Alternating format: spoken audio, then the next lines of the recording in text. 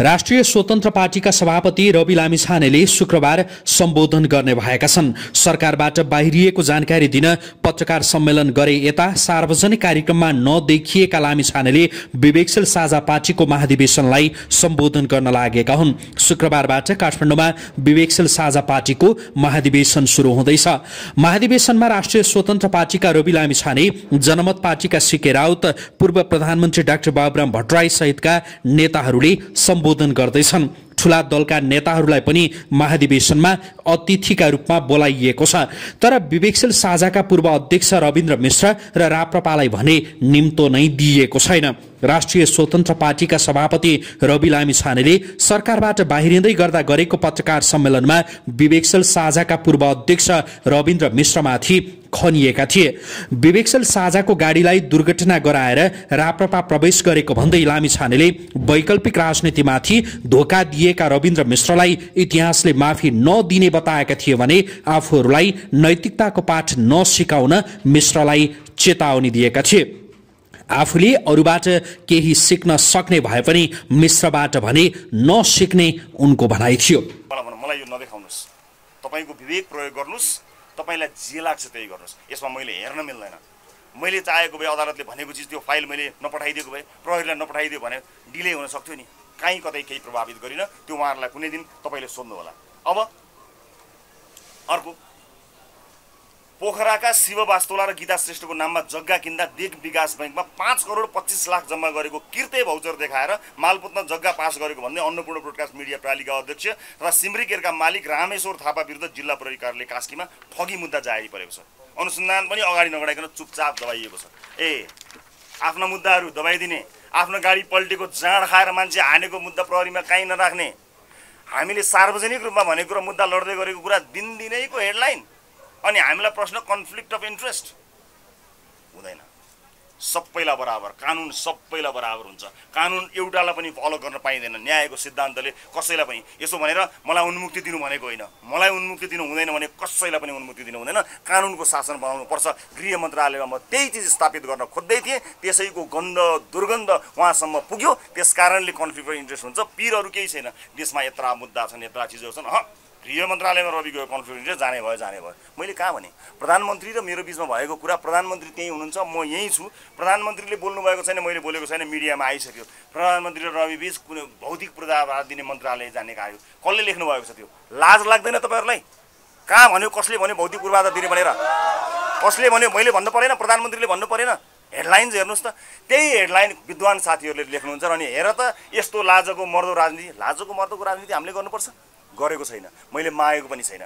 आफू जाने नजाने कुरा आएको कुरा हो। र म तपाईँलाई आज यो कुरा बताउन चाहन्छु। उपनिर्वाचनबाट निर्वाचित नभइसम्म नभइ नभइकन म कहीँ जाँदा पनि जान्न। म उपनिर्वाचित भएर फेरि जनताको माझ जान्छु। जनताले जिताएछन् भने म आउँला। जिताएनछन् भने पनि राजनीति चाहिँ गरिरहन्छु। मलाई कुनै ठाउँमा जानु छैन। तर राजनीतिक निष्ठा कायम गर्नको लागि भएको सम्झौता पुरा हुनुपर्छ भनेर म त्यस कारण आएको र मिडियाले जुन ढङ्गले सातजना बाह्रजना पत्रकारहरू जम्मा जम्मा भयो एक ठाउँमा बस्यो यो लेखिदिने यो लेख्थ्यौँ लेख्थ्यौँ लेख्थ्यौँ मलाई चरित्रहीन समेत बनाएर हेडलाइन राखिएको छ।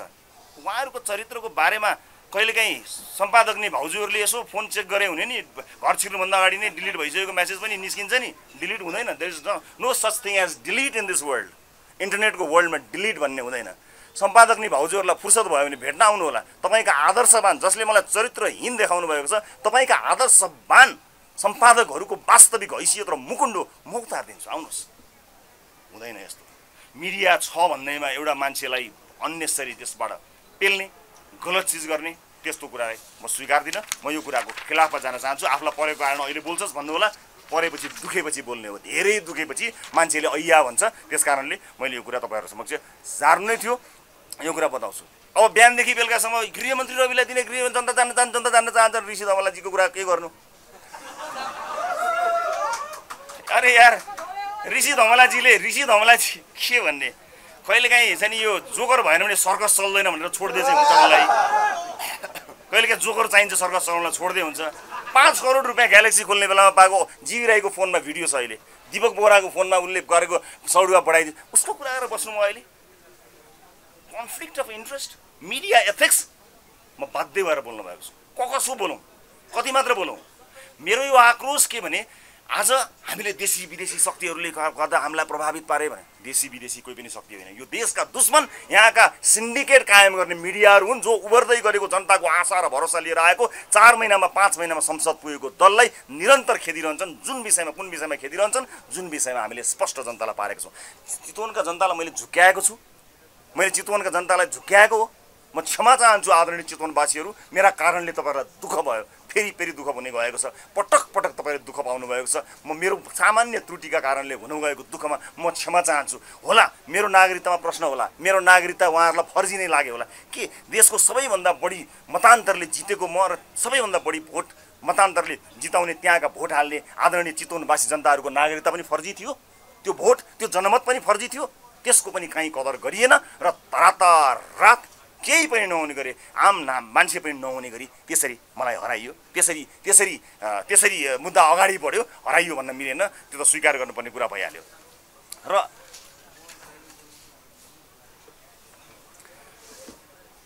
र अर्को कुरा मेरा पुराना भिडियोहरू हालेर ओहो यसो भन्नुहुन्थ्यो त पहिला भगवान्जीले भन्नुहुन्छ। ए यसो गर्नुहुन्छ दुईवटा मान्छे ट्विटरमा बसेर हल्लाइदिएको छ त्यो सातो पुत्लो। मेरो सातो लिन सक्नुहुन्न। डोन्ट वरी रामेश खोरेलले टा ट्विट लेख्छ भनेर मान्छे बौलाएर हिँडेको छ वाट द हेल उहाँको बौद्धिकताको लम्बाइ धेरै होला तर उहाँले आफ्नो बौद्धिकताको लम्बाइ कहाँसम्म राख्नु भएको छ नि त्यो गगन थापाको कट्टुको साइज लम्बाइ जति छ त्योभन्दा पर छैन उहाँले आफ्नो। छ धेरै छ। त्योभन्दा पर छैन। त्यहाँ ध्यान दिएर उहाँले गर्नुभएको छ। रामेश थापाले ट्विट गर्छ भने डराएर समाज तर्सेर बसेको छ। म आज खुला कुरा गर्छु। एकदम म यो लुकाएर म म डिप्लोमेट पनि होइन। म यसै गरी कुरा गर्ने हो टेलिभिजनमा पनि यो मेरो मभित्रको त्यो एउटा जिन झन्डै झन्डै हराएको थियो पोलिटिक्समा त्यस कारणले त्यो जिन मनिगा के फरक पर्छ? ती मान्छे सातो गयो अनि ओहो गजब लेख्यो। उसले रिट्विट गरिदियोस् र उसले इन्डोर्स गरिदियोस् भनेर मान्छेले आफ्नो जीवन र भविष्य लेखेको छ। अमित ढकालले के रहेछ भने पिर परेर बिचरा रविन्द्र मिश्रको त राजनीति अमित ढकालले रिसाउ लागि भन्ने पिरले उहाँको उहाँको राजनीति उता गयो। त्यही उहाँ रविन्द्र मिश्र फेरि गाली गर्न थाल्नु उहाँहरू। सबै चिज हारिसकेपछि अनि त्यहाँबाट म यो हुन्छ भनेर अस्ति मलाई उहाँ कराउँदै हुनुहुन्थ्यो। रविन्द्र मिश्रजी गुड्दा गुड्दैको उज्जवल थापाहरूले उज्जवल थापाहरूले सानो थियो होला तर इमानका साथ सुरु गरेको राजनीतिको गाडी अगाडि बढ्दै थियो। त्यो गाडीको चालक म हुन्छु भनेर तपाईँ घुस्रेन आउनुभयो र चल्दा चल्दैको गाडीबाट तपाईँ हाम फाल्नुभयो। आज विवेकशील साझा लडाइदिनु भयो अहिले तपाईँ मलाई इमान सिकाउनुहुन्छ टेलिभिजन इन्टरभ्यूमा गएर तपाईँ त्यहाँ बसेर मलाई सिकाउनुहुन्छ। मलाई सिक्नुपर्छ इमान मलाई थाहा छ तर तपाईँसँग चाहिँ सिक्दिनँ। म खुसी छु। मेरो उम्मेदवार मलाई मलाई केही छैन हाम्रो उम्मेदवारले हारेकोमा। तर चढ्ला चढ उहाँ बाह्रखरीमा हुनुहुन्छ। बाह्रखरी पनि त्यही भाइमध्ये पर्छ। कङ्ग्रेसलाई जोगाउँछ उसले। कसलाई थाहा छैन भने उसले त्यही लेखिदिन्छ। एउटा लेखिन्छ पालै पालो सेड्युल हुन्छ उसले लेखिन्छ मलाई दुःख छ। राजेशजी प्लिज लिभ द्याट बाह्रखरी। तपाईँप्रति मेरो सम्मान अलिकति बाँकी छ। मलाई भएको सम्मान जोगाउनको लागि पनि तपाईँ लेख्ने होला। केदार शर्मा दाई हुनुहुन्छ। केदार दाई तपाईँप्रति मेरो सम्मान छ। तर त्यही कान्तिपुरले लेखेको न्युज हेरेर हेर फटा नभन्नुहोस् मलाई किनकि त्यसले फटाइका कास लेखेको समाचारलाई तपाईँले आधार मान्नु भएन। त्यो तथ्य हुनु पऱ्यो ऊ बार्गेनिङ गर्छ। बार्गेनिङ नमिलेको कारणले न्युज लेख्छ। उसलाई मलाई त्यहाँबाट हटाउनु थियो। कन्फ्लिक्ट अफ इन्ट्रेस्ट मेरो थिएन उसको थियो। म गृहमन्त्री हुँदा उनीहरूको ब्यान्ड बस्नेवाला थियो। उसले कन्फ्लिक्ट अफ इन्ट्रेस्ट मलाई हटाउनुमा राख्यो। तर तपाईँलाई लाग्यो कि म कन्फ्लिक्ट अफ इन्ट्रेस्टमा छु। म कहिले पनि कन्फ्लिक्ट अफ इन्ट्रेस्टमा छैन। मैले आफ्नो मुद्दा मिलाउनलाई केही पनि गरेको छैन। अब विदेश बसेर पनि यो डा एकदम डाहा गर्ने साथीहरू पनि अनेक तरिकाले ओहो यो हुनु हुँदैन थियो त्यो हुने ज्ञान छाँटेर बस्छन्। नेपाल फर्किने अभियान चलाउँ भन्छन्। नेपाल फर्किने अभियान चलाउनै पर्दैन। टिकट काट्नै आउने। के को अभियान? बायो एयर टिकट बन्द भएको छ र। त्यो त्यो रट लगाइरहनु पर्दैन। स्वाभिमानको त्यति ख्याल माया छ भने टिकट काट्नै आउने। अभियान कसैले चलाइरहनु पर्दैन। अनि त्यहाँ बसेर टुच्च टुच्च हनिरहने गरिरहने टिज गरिरहने। यो कुरा मलाई स्वीकार्य छैन।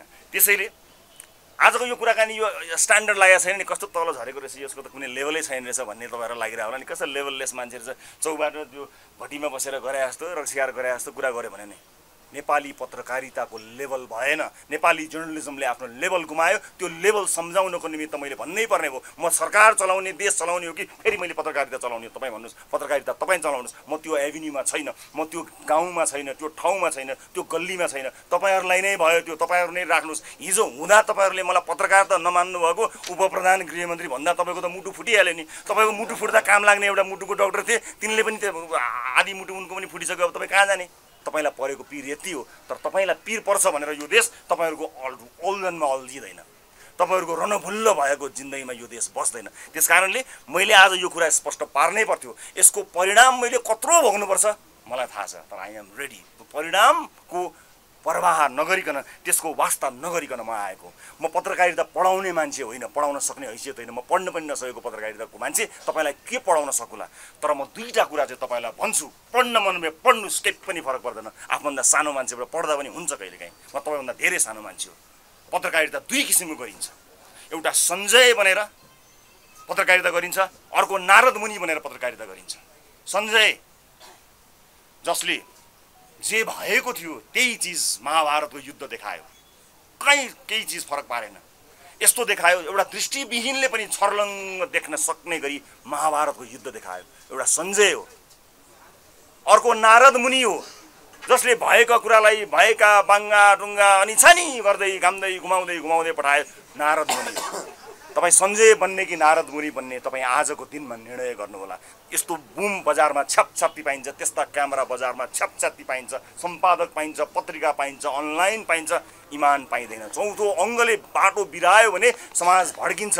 विदेशी शक्तिहरूको आडमा मुलुक गयो मुलुकलाई विदेशी शक्तिहरूको चलखेलको अड्डा बनाइयो भनेर भनियो। विदेशीहरूको चलखेलमा होइन। केही मिडियाहरूले विदेशीको एजेन्ट हुँ म भनेर त्यो विदेशीसँग सम्बन्ध बिगारेका छन्। म त उसले लेखेपछि त अब कान्तिपुरले लेख्यो भने चाहिँ ओहो यो त इन्डियाको लाइन हो। इन्डियाले पनि यही भन्यो होला। भनेर इन्डियाको नाम लिएर हामीलाई यहाँ तर्साइरहेको छ। कसरी इन्डिया हुन्छ? That's not an India this is a message to mister Modi mister Modi we need to work on this Please don't believe that the, the, the, people who are saying your agent is not your agent. They're not your agent, they're not our agent. They're nobody's. They have their interest. And I want some fellow Indians to understand this so that I think I can uh, speak a little bit Hindi also. I want my masses to go through the Indian media as well, from Indian television and other media. I really want to want to give this message very loud and clear to the Indian communities out there. Please listen this carefully. And I really want Indian citizens also understand my message very clear and loud. So I'm going to speak in Hindi a little bit because I, I speak pretty good Hindi. I've watched good amount of Hindi cinemas also. So it's it will be easy for people of India to understand the situation also. I'm going to give my statement in Hindi, especially for the people of India and Prime Minister Mr. Modi. Modi ji, जो लोग आपके नाम pay यहाँ पर लूट रहे हैं, वो लोग नेपाल और भारत के संबंध आगे बढ़ाने का नहीं सोच रहे हैं। आपको लग रहा होगा हमारे संबंध बहुत ऊंचाई पर चढ़ी गई है। ये बोलने वाली बात है। ये लोग जो एजेंट बनकर काम कर रहे हैं, उन पर विश्वास करना बंद कीजिए, सीधी बात कीजिए आप। कोई एजेंट आपके लिए, आपका ये इंडिया का लाइन है करके यहाँ पर जो चला रहा है, वो धंधा को बंद कीजिए। अगर आपको सच लगता है कि नेपाल और भारत बहुत अच्छे मित्र है और हमारे रिलेशन अच्छा बनानी चाहिए तो बीच में कोई आदमी मत भेजिएगा, कोई पत्रकार को मत भेजिएगा, कोई एजेंट को मत भेजिएगा, कोई प्रकाशक को मत भेजिएगा, सीधी बात कीजिएगा। You have to work on your team you have to work with your your embassy and all वहाँ पर देखिएगा आप, ध्यान से देखिएगा। अगर नेपाल और भारत का संबंध अच्छा बनाना चाहते हो तो हम लोगों को ऐसे इंटैक्ट रहना चाहिए, साथ में। बीच में जगह रख दोगे तो ऐसे लोग आगे आपके नाम ले पे इसको लुटेंगे। वो आपके देश के लिए भी हानिकारक है हमारे देश के लिए भी हानिकारक है और इन लोगों के वजह से हमारा संबंध कभी भी अच्छा नहीं होगा। आज राष्ट्रवादी बनना हो तो इंडिया को गाली करने के लिए लोग मजबूर हो रहे हैं, ये लोग ये बना रहे हैं, इनको अपने नेपाल भारत का रिलेशन आप अगर अच्छा चाहते हो, आप इसको हटाइए। I really want this message to go to go from through the Indian media as well मैं आज ये भी क्लियर करना चाहता हूँ। मलाई क्षमा गर्नु होला हिन्दी बोल्ने बित्तिकै फेरि अलिकति गाली खाने चलन पनि छ। टिकटकमा यति हिन्दी बोले मात्र हालेर मैले अर्को वर्ष गाली खाने होला हिन्दी बोल्थेँ रवि भनेर हेडलाइन लेख्ने होला। केही पनि फरक छैन। हेडलाइनबाट तर्सिने मान्छे होइन लाइफ लाइन चेन्ज गर्न हिँडेको मान्छे भएको हुनाले। त्यस कारणले मैले अलिकति तल आउनै पर्ने भयो। मलाई क्षमा गर्नु होला मलाई म एकदमै धेरै बौद्धिक मान्छे होइन तर तपाईँलाई झुक्काउन सक्ने बौद्धिकता चाहिँ छ मसँग। तर मैले त्यसो गर्न चाहिनँ आज। तपाईँलाई झुक्काइ चाहिँ दिन सक्छु म। ऊ बौद्धिकै हो कि क्या हो भने जस्तो गरेर म हृदयबाट बोल्न चाहन्छु म जे छु त्यही नै म हुँ म त्योबाट बाहिर जान चाहन्न म धेरै पर गएको कारणले गर्दाखेरि मैले यो कुरा बताउनुहुन्छ। र एउटा चिज तपाईँलाई म सुनाउन चाहन्छु हामीभित्र डर डर डर डर डर डर। एउटा कुरा ध्यान दिएर सुन्नु होला जो डराउँछ त्यसको लुक्ने ठाउँ हुँदैन। जो डराउँछ त्यसले लुक्ने ठाउँ पाउँदैन। र म डराएर राजनीति गर्न आएको होइन। कत्रा कत्रा व्यवस्था विरुद्ध नडराइकन लडेका नेताहरू आज पत्रकारले यसो राम्रो लेखिदिए हुन्थ्यो कि भनेर त्यो पत्रकारलाई उपहार दिने हो कि त्यो पत्रकारलाई फकाउने हो कि त्यो पत्रिकाको साउलाई आफ्नो समयमा राख्ने हो कि भनेर डराएर राजनीति गरेको छ। यस्तो डराएर राजनीति गरेर यो देशमाथि लाग्दैन। पत्रकारको काम आफ्नो पत्रकारिता गर्ने हो। नेताको काम मुलुकका लागि काम गर्ने हो। पत्रिका एउटा काम गर्नको लागि अनेक राजनीतिक दलसँग आफ्नो पत्रिका छ आफ्ना अनलाइन छन् आफ्ना ठाउँहरू छन् आफ्ना पत्रकार साथीहरू छन्। हामीसँग कोही पनि छैन। म त भएको एउटा टेलिभिजन पनि छोडेर राजनीतिमा आएको त्यस कारणले यो कुरा म स्पष्ट पार्न चाहन्छु म आफ्नो बाटो जान चाहन्छु। भविष्यमा कुनै पनि पत्रिकाले लेखेको न्युजको यदि त्यसले गलत चिज गर्यो भने म त्यो पत्रिकाको कार्यालयमा त्यो अनलाइनको कार्यालयमा गएर धरना बसेर हुन्छ कि आफ्ना साथीहरू लिएर जान लिएर गएर हुन्छ कि म त्यसमा आफ्नो ढङ्गले कारवाही गर्छु। अदालतलाई पनि प्रभावित पार्ने अब त्यही पत्रिका आउँछ। अब प्रधानमन्त्रीलाई टेन्सन के भयो भने प्रधानमन्त्रीज्यू केही होइन हामीलाई यो प्राप्त गर्न केही गाह्रो हुन्न भन् भनेर हुन्छु। अब प्रधानमन्त्रीको अगाडि यत्रो ठुलो हेडलाइन भएको कान्तिपुर अन्नपूर्ण भनेर रवि लामी छानेको स्वार्थको द्वन्द्वले। अब त्यो प्रधानमन्त्री बिचरा यसलाई राख्यो भने त यसले मलाई ठोक्छ मलाई सिद्ध्याउँछ। सातो लिएका छन् यिनीहरूले। फर वाट के को लागि? चार वर्ष अगाडि मैले आफैले भनिसकेको कुराको लागि सातो लिएको। अब मलाई तपाईँहरूले गर्ने भने के र? अब यो पार्टीबाट निकाल्नुहुन्छ देशबाट निकाल्नुहुन्छ त्यति त बाँकी होला नि। म तयार छु। हेर्नुहोस् राजनीति भनेको कुनै पनि व्यथिति विरुद्ध लड्नको लागि लडिने हो। हिजोको दिनको व्यथिति राणा शासन थियो होला। अर्को दिनको व्यथिति साई शासन थियो होला। अहिलेको व्यथिति मिडियाको व्यथिति छ यो कुरा नोट गरेर राख्नुहोस्। मैले तपाईँ आफू आउनुभएका साथीहरूलाई लक्षित गरेर भनेको होइन। तपाईँहरूको र तपाईँहरूको भविष्यलाई ध्यान दिएर भनेको तपाईँको भविष्य पनि सुरक्षित छैन। यसरी साउले अराएको र खटाएको पत्रकारिता गरेर कहिलेसम्म खानुहुन्छ साथीहरू? एक दिन हाम्रो पार्टीमा खाना खाने। आउनुहोस्। इमानले बनाएर कमाएर खाएको खानाको स्वाद कस्तो हुन्छ म देखाउँछु। आउनुहोस् एक दिन यो पार्टीमा खाना खाउँ। आउनुहोस्। स्वादै अर्कै हुन्छ। स्वाद नै अर्कै हुन्छ। एक दिन हामी सँगै खाउँ कुराकानी गरौँ। मलाई पत्रकारितासँग योभन्दा बढी भन्नु छैन। अब मैले भन्नुपर्ने जति म एकछिन फेरि नगर्नु होला है? र अर्को कुरा मलाई थाहा छ। अब यसलाई पासपोर्टमा फसाउन सकिन्छ भनेर गएको छ? पासपोर्टमा फसाउन सकिन्छ। ए के छ? पासपोर्ट दुरुपयोगमा त फौजदारी लाग्यो भने त जिन्दगीभरि चुनाव लड्नु पर्दैन जिन्दगीभरि चुनाव लड्न पनि पाउँदैन। त्यहाँ हान्नुपर्छ भनेर बाह्र भाइ मिलिसक्यो होला नभए। बाह्र भाइ कति भाइ छन्? बाह्र भाइ मिटिङ भइसक्यो। यो देशका सारा व्यतिथिको कारकैमै यो देशको सारा व्यतिथिको कारण यही यसलाई हटाएपछि सब ठिक हुन्छ भन्ने छ। यसलाई हटाइदिए सिद्धो अरूलाई हटाउने होइन। तपाईँहरूलाई के बताउँ म आज? आज नेपाली जनतालाई दुःख पऱ्यो भने आज दुःख पऱ्यो भने नेपाली जनताहरू युवराज कणेललाई खोज्दै हिँड्छन् वीरेन्द्र जैरूलाई खोज्दै हिँड्छन् रमेश प्रसाईलाई खोज्दै हिँड्छन् तपाईँलाई खोज्दै हिँड्दैनन् यो भ्रमण बाहिर निस्कनुहोस्। तपाईँ यिनै ठाउँहरूलाई यिनै ठाउँहरूलाई प्रभावित गर्न मात्र पत्रकारिता गरिरहनु भएको छ। यो चिजबाट बाहिर निस्कनुहोस्। नेपाली जनताका मुद्दामा काम आउन आउनुहोस् पत्रकारिता गर्नुहोस्। पत्रिका तपाईँले चलाउने हो देश हामीले चलाउने हो। देश चलाउन मन छ भने चितवन दुईमा मसँग चुनाव लड्न आउनुहोस्। एक एकजना अमित ढकाल पनि आउनुहोस्। के उहाँ अनलाइन खबरको हाम्रो कति कम्पिटिसन नाम पनि आएन। धर्मराज भुषाल पनि आउनुहोस् कनकमणि दीक्षित पनि आउनुहोस् दिलभूषण पाठकजी पनि आउनुहोस्। मलाई मेरो गाली गरेर देख्ने बित्तिकै रिट्विट गर्न हतार हुन्छ मलाई फेरि। काहीँ कसैले मलाई गाली गरेर देख्यो कि रिट्विट गर्न हतार भइहाल्ने। अनि त्यसले हो र हो र भन्ने ग्रुप आइहाल्ने। म म तर्सिन्न नि। म तर्सिन्न। अलिकति डर अलिअलि भएको पनि आज सिद्ध्याएँ यसरी कसैलाई पनि तर्साउनु पाइँदैन। एउटै कुरा बताउँछु अब पासपोर्टमा फसाइन्छ भनेर लाग्नेहरूलाई म रेडी छु। म तयार छु। पासपोर्टमा फसाउन सकिन्छ पासपोर्टमा फस्छ भन्ने कुरामा तयार भएको बस्नेहरूलाई म भन्न चाहन्छु। फसाउनु होला मजाले फसाउनु होला केही छैन। म लड्छु आफ्नो मुद्दा आफै लड्छु। हिजो देशको उप प्रधान तथा गृह मन्त्रालयमा हुँदाखेरि त मैले केही पनि गर्न सकिनँ भने अलरेडी बाहिर आएको डकुमेन्टमा मैले के गर्न सकुला र? म गृह मन्त्रालय यस कारण हो चाहन्थेँ म। म फेरि एकदम गृहमन्त्री चाहिए पनि होइन मलाई। भएको भए मलाई हुन्थ्यो त्यो पनि भन्दिनँ म। त थियो नि मलाई किन हुँदैन? राखिहाल्छ कि भन्ने त थियो नभएको होइन। तर मैले यति कुरा तपाईँलाई इमान्दारीपूर्वक भन्नुपर्छ गृह मन्त्रालयमा बसेर हामीले प्रत्येक दिन यहाँ प्रतिभा हुनुहुन्छ दिपक हुनुहुन्छ उहाँलाई सोध्नुहोस् त प्रत्येक दिन बाह्र वर्ष तेह्र वर्ष धाएको मान्छेलाई बाह्र मिनटमा हामीले काम सल्भ गरेर जान्थ्यौँ। म त्यो लोभको लागि गृह मन्त्रालय जान चाहन्छु। अहिले यति गाली गर्दा पनि फेरि बोलायो भने जान्छु। जान्छु पल लोलु भएर होइन काम गर्नको लागि छु के काम गरेको छु म देखाइदिन्छु तपाईँलाई। जिन्दगीभरि मान्छे दौडेको मान्छेलाई हामीले सहयोग गर्नको निमित्त हामीले बाह्र वर्ष खटेको मान्छेलाई सिडिओ सरुवामा खानु परेको छ। अनि त्यसरी खान पल्केकोहरूलाई गृह मन्त्रालयमा म गयो। त्यहाँ त आफ्नो मान्छे हाल्नु पऱ्यो। रामेश्वर थापा जिल्ला त एउटा हल्दार सार्न पनि इन्ट्रेस्ट छ नि त। त्यहाँ हजुर गर्नु मलाई इन्ट्रेस्ट छ। मेरो मुद्दा भएको दिन बिहान उहाँ कुन कुन न्यायाधीशमा जानुभयो खोज्नुहोस् तर सक तपाईँले सक्नुहुन्न। सरी माफ गर्नु कहाँ खोज्नु आमै रामेश्वर थापालाई चलाउने कैलाश सिरोया अब सकिन्न। तर एउटा बिन्दुमा आएर हामीले आँट गर्नुपर्छ। मैले आफ्नो रिस र आक्रोश बिच भनेको होइन। यति धेरै विषयहरू छन् कि मलाई यो अलरेडी पत्ता लगाएर खोजेको चिज मलाई मैले तिन मिनट ट्राई गर्दा अहिले मैले यो देखाएको डकुमेन्ट छ नि यो। यो मैले तिन वर्ष लगाएँ भने तिन मिनटमै यहाँ यो श्रीराजीको गाडी पल्टाउनु भएको छ यहाँले। उहाँले गरेको चिज हो। उहाँले ट्विट गर्नुभएको छ। अँ, यहाँ छ। स्वार्थबाजीको चन्द्रागिरी चन्द्रागिरीको उहाँले खाएको कसलाई थाहा छैन र? ए उहाँले खाएको सबैलाई थाहा हुने उहाँ कारवाही गर्नुपर्ने। उहाँ राजा। महाराज उहाँ। राजाको छोरोबरु जनता भयो सडकमा सुतेर बसेको छ। म राजावादी होइन नेपालवादी हुँ भन्छन्। कस्तो पावरफुल मान्छे। जाँड खाएर गाडी ठोकेर मान्छे घाइते बनाएर अस्पतालमा लगेर अर्काको नाम हालेर मुद्दा राफ साफ गर्ने बाफ रे बाफ लोकतन्त्र उहाँहरूलाई पावरफुल बनाउनको लागि बनेको। अर्काको जग्गा खाइदिनुको लागि बनेको बैङ्कलाई तर्साउनुको लागि बनेको न्युज हालिदिन्छु न त तँलाई सिद्ध्याइदिन्छु भन्नको लागि बनेको अर्काले अरबौँ खर्च गरेर घर जग्गा बन्दकी राखेर गरेको व्यापार व्यवसायमा त्यहाँ उसलाई सेयर दिनुपर्ने सेयर दिएन भने त्यसपछि सिद्ध्याइदिन्छ अरे अनि लेखिदिन्छ नि हेडलाइन। पढ्न त उहाँ कसैले नि पढ्दैन।